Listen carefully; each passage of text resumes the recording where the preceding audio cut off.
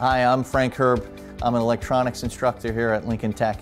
This is our first semester room. Uh, here in our first semester, you will be learning about Ohm's Law, studying DC circuits and AC circuits, and the tools that um, are necessary to study or, or examine these circuits.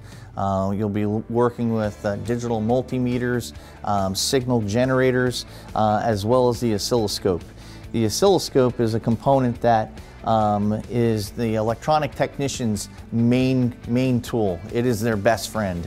Uh, and if we do our, our um, job correctly here, um, this oscilloscope, um, you're going to know all the ins and outs of this, of this tool and component.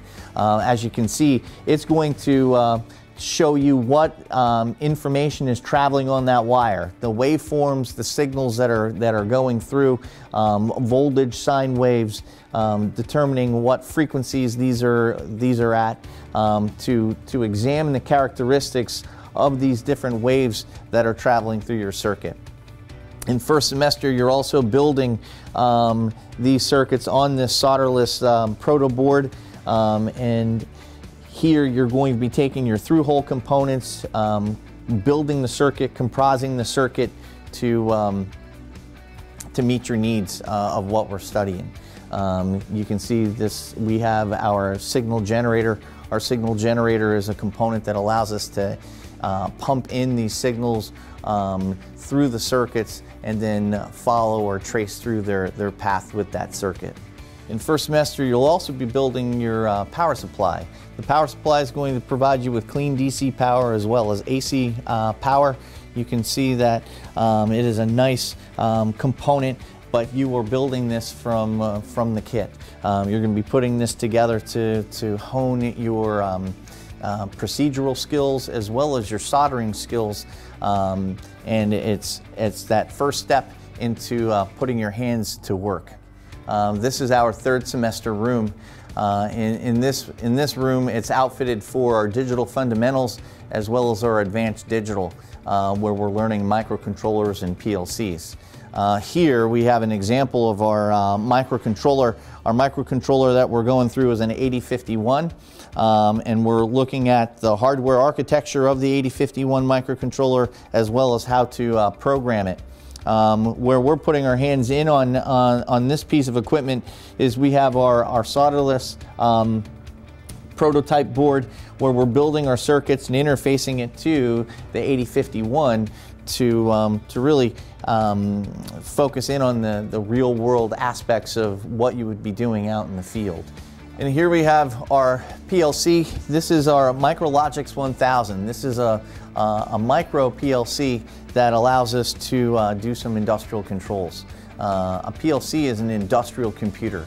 So where we had the microcontroller showing us a computerized system, um, here we have this industrial computer to um, automate um, how our products are brought to us, putting uh, toothpaste in tubes, doing lighting controls. And here we have this uh, Micro uh, Logix 1000. It is a smaller of the Allen Bradley um, provider. Um, and we're programming that MicroLogix 1000 with uh, RS Logix. RS Logix is uh, across the Allen Bradley um, portfolio on, on how to program all of their PLCs. Uh, we also have our SLC 500. Our SLC 500 is a, a much larger PLC as you can see, uh, and it is a modular PLC compared to this fixed PLC where we can uh, customize the number of input and output modules, uh, analog modules for sensors and, and doing that automated control.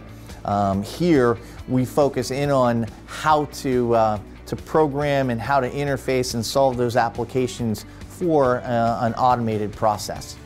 And this is our fourth semester room. Uh, here we're going over communications, uh, AM FM communications. You can see uh, behind me we're, we're going through a single sideband uh, receiver, um, but you can see that it's going to be a, a theoretical approach as well as a hands-on approach. Uh, and, and that builds us to, we, we go over mathematics, but not math for math's sake, but math with a purpose. Uh, and we take that mathematics and we unlock our theory and then we make that theory solid um, by our hands-on process. So our hands-on process, we have the equipment to, uh, to help you build and test these circuits that you see, uh, as well as we, we uh, perform surface mount soldering in this room. So the surface mount soldering stations are in the back um, and, and we're outfitted for the provisions that we need to, uh, to take you through uh, the surface mount soldering as well as your four semester communications, AM, FM, fiber optics, uh, some network communications, um, and, that, and that's what we're looking at um, in our um, communications semester.